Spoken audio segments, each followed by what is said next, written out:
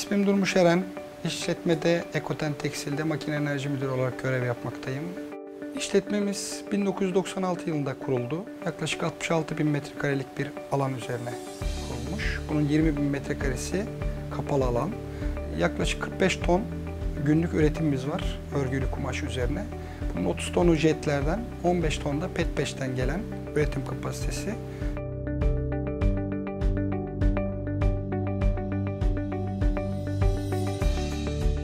Ekoten, Tekstil ve Jimmy Kay olmak üzere 3 şirketimiz olmakta. Dünyaca tanınmış dev firmalara örgülü kumaş vermekteyiz.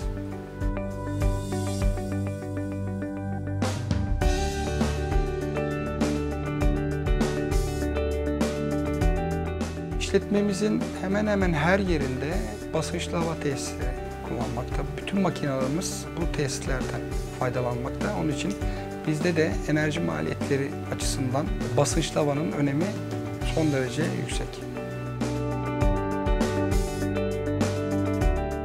GE Bayer 2 megawattlık almış olduğumuz gaz motoruyla ilgili kısaca bilgi vermek gerekirse tesisin input kurulu gücü 4477 kW.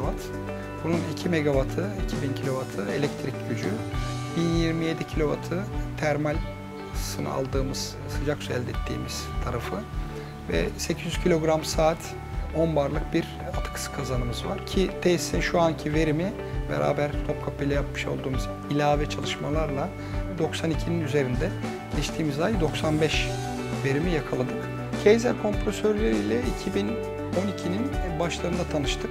Birincisi seçim kriterlerimizde özgül tüketimlerin çok düşük olması diğer alternatif kompresörlere göre özgül hava tüketimlerinin, enerji tüketimlerinin çok düşük olması. İkincisi de Ege bölgesindeki servis ağının çok güçlü olmasından dolayı biz Kaiser kompresörlerini seçtik.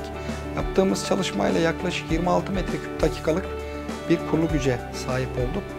Aynı kurulu güçle daha önce saatte 212 kW enerji tüketirken şu anda Kaiser'le bu rakam 130 kW'lara indi.